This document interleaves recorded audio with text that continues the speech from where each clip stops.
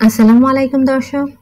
আজকে আপনাদের জন্য আমি নিয়ে এসেছি খুব মজাদার এবং ঝটপট তৈরি করে নিতে পারবেন চিকেন বিরিয়ানি রেসিপি বাসায় মাঝে মধ্যে হুটহাট মেহমান চলে আসে। তখন যদি ইচ্ছে হয় বিরিয়ানি তৈরি করা, তখন কীভাবে ঝটপট কোনো রকম ঝামেলা ছাড়া এবং প্যাকেট মশলা ব্যবহার করে কীভাবে মজাদার টেস্টি বিরিয়ানি রান্না করা যায়, সেটি আজকে আপনাদের সাথে শেয়ার করছি। আশা করছি ইনশাল্লাহ ভালো লাগবে।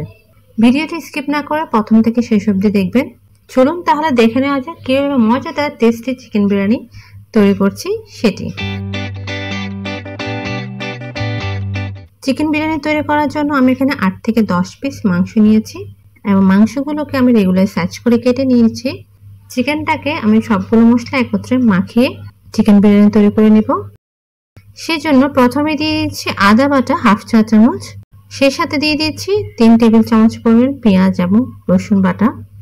বিরিয়ানিতে একটু পেঁয়াজ এবং রসুন বাটা একটু বেশি হলে কিন্তু খেতে খুবই ভালো লাগে। এরপর গরম মশলা দিয়েছি দারচিনি, এলাচ, লং এবং তেজপাতা। সেই সাথে অ্যাড করে দিচ্ছি ধনিয়া, জিরা গুঁড়ো এক টেবিল চামচ। এখানে জিরার পরিমাণটা একটু বেশি আছে।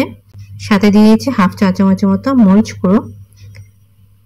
এবং বিরিয়ানি মশলা দিয়ে দিয়েছি প্রায় চার টেবিল চামচ। সাথে দিয়েছি এক চা চামচের মতো লবণ। লবণটা আপনারা পছন্দ মতো দেওয়ার চেষ্টা করবেন।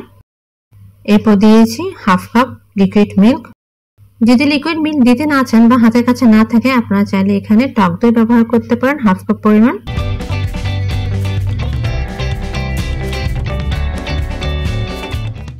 আমি বেড়ে তৈরি করার জন্য যে তেলটা ব্যবহার করব, সেই তেলটা আমি একসাথে দিয়েছি। এখানে আমি তেল দিয়েছি হাফ কাপ পরিমাণ।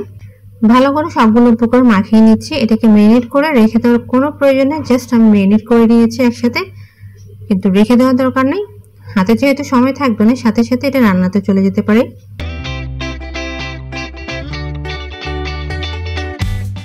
আজকে বিরিয়ানিটা তৈরি করার জন্য আমি এখানে কালো জিরা, পোলাও চাল নিয়েছি, দুই কাপ পরিমাণ।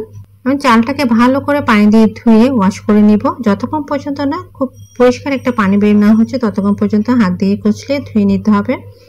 এবং ধুয়ে নেওয়ার পর কিন্তু একটি স্ট্রেনার নিয়ে নিতে হবে। আগে প্রথমে পনেরো মিনিট আমি চালটাকে ভিজিয়ে রাখব। এতে করে কিন্তু বিরিয়ানি রান্না হওয়ার পর চালটা খুবই লম্বাটা হবে এবং ঝরঝরা হবে।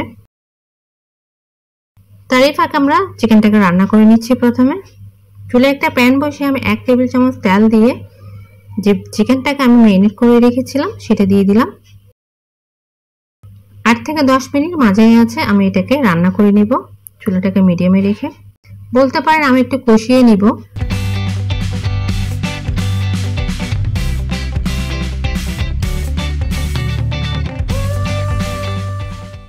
আট থেকে দশ মিনিট পর দেখতেই পাচ্ছেন যে কত সুন্দর একটা কালার চলে এসেছে, মশলাগুলো কষিয়ে গিয়েছে এবং তেলটাও কিন্তু খুব সুন্দরভাবে বেশি উঠেছে। আমার চিকেনটা কিন্তু অনেকটাই সিদ্ধ হয়ে গিয়েছে। আর আর যতটুকু সিদ্ধ করতে হবে, সেটা কিন্তু আমি চালের সাথে সিদ্ধ করে নিব। আর যে চালটা আমি পনেরো মিনিট ভিজিয়ে রেখেছিলাম, এখন সবগুলো চাল আমি প্যানের মধ্যে ঢেলে দিলাম। এখন চার থেকে পাঁচ মিনিট মিডিয়াম লো আছে, আমি এটাকে ভেজে নিব। চালগুলোকে একটু ভেজে নিলে কিন্তু সুন্দর একটা ফ্লেভার বের হবে। এবং এই এই ফ্লেভারটি কিন্তু বিরিয়ানিতে খুব সুন্দর থাকবে। সেই সাথে আমি দিয়ে দিচ্ছি আস্ত চার পাঁচটি কাঁচামরিচ এবং আলু বোকরা দিয়ে দিচ্ছি আট থেকে দশটি। আপনারা চাইলে কিশমিশও ব্যবহার করতে পারেন। আমার কাছে কিন্তু আলু বোকরাই খুব বেশি ভালো লাগে বিরিয়ানিতে। সবগুলো উপকরণ ভালোভাবে আমি চার থেকে পাঁচ মিনিট সুন্দরভাবে চালটাকে ভেজে নিচ্ছি। এতে করে কিন্তু সুন্দর একটা অ্যামো ছড়াবে।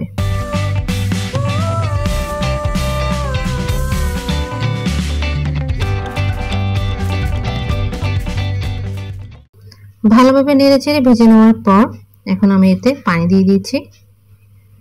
আমি এখানে গরম পানি ব্যবহার করছি, যেহেতু আমি চাল দুই কাপ ব্যবহার করেছি, আমি সে অনুযায়ী চার কাপ পানি ব্যবহার করেছি। অনেকের আইডিয়া থেকে থাকে যে কতটুকু চালের জন্য কতটুকু পানি দিতে হবে, একদম মেজারমেন্ট করে বলতে হয় না। তারপর আমি বলে দিলাম কয় কাপ চালের জন্য কয়েক কাপ পানি লাগবে। ঢাকনা দিয়ে ঢেকে আমি এটাকে সাত থেকে আট মিনিট রান্না করে নিব। যতক্ষণ পর্যন্ত না পানিটা গা মাখা হয়ে আসছে। সাত থেকে আট মিনিট পর আমরা ফিরে আসলাম।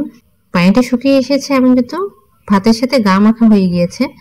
এখন আমি এখানে দিয়েছি বিরিয়ানি মশলা, এক টেবিল চামচ এবং টেস্টিং সল হাফ চা চামচ।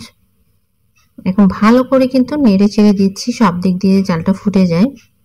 এই পর্যায়ে কিন্তু বিরিয়ানি মশলাটা ব্যবহার করলে কিন্তু সুন্দর একটা অ্যারোমা ছড়াবে। সুন্দরভাবে নেড়ে চেড়ে দেওয়ার পর একদম মিডিয়াম লো আছে, আমি এটাকে দশ থেকে বারো মিনিট দম রেখে দিব।